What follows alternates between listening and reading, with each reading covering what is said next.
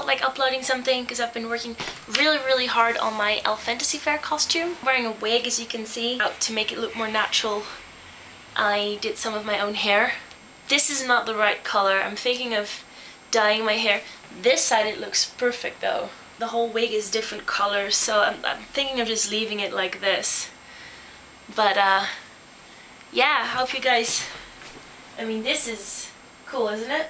In order to do this I added an extra weave of blonde which I dyed using alcohol and acrylic ink. I took the blonde weave and used that to make all the braids with. Eh, I'm usually not someone that wears ponytails or stuff tied to the back. But If I would wear a big wig with hair everywhere, it would also distract from the costume that I'm wearing, which is, well, I will show you the costume now.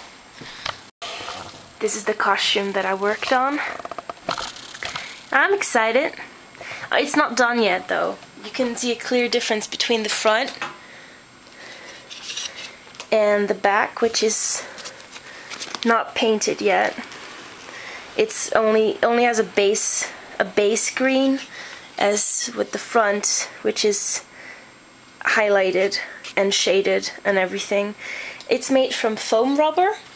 It is this material and you can buy it at a craft store and if you apply heating to it it gets stretchy and you can do anything with it uh, mold it in different types of shapes. Uh, yeah it's it's very light. That's that's the best thing about it. You can just wear it.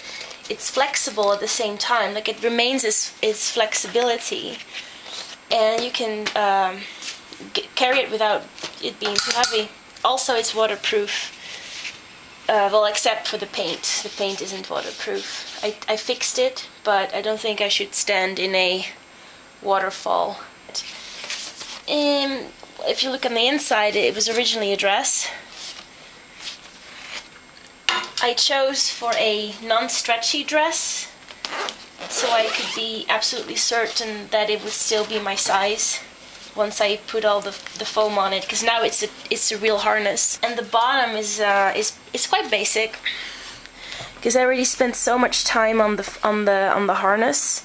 Um, I'm keeping this one just basic like that because I'm happy with just the focus being on this area.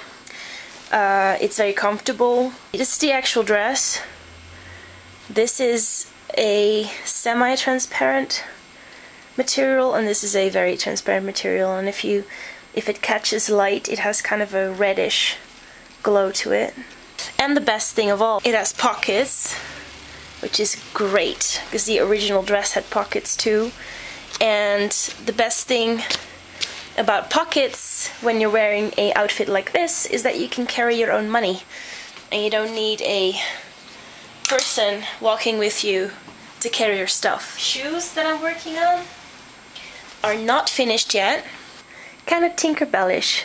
Um, I'm going to work on some accessories for my face. My, my, my nails are going to be cool because they're going to be little leaves that I'm going to be gluing on my fingers.